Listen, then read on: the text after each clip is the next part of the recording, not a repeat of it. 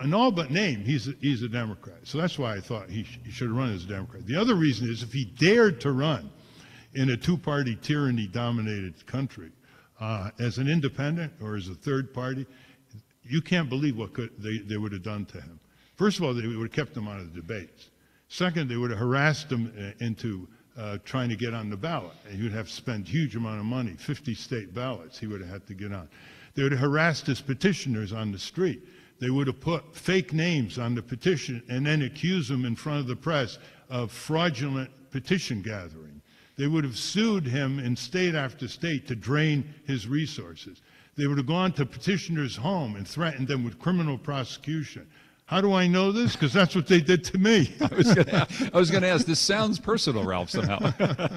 so he was smart running as a Democrat. Yeah. He didn't have to worry about, about all these things.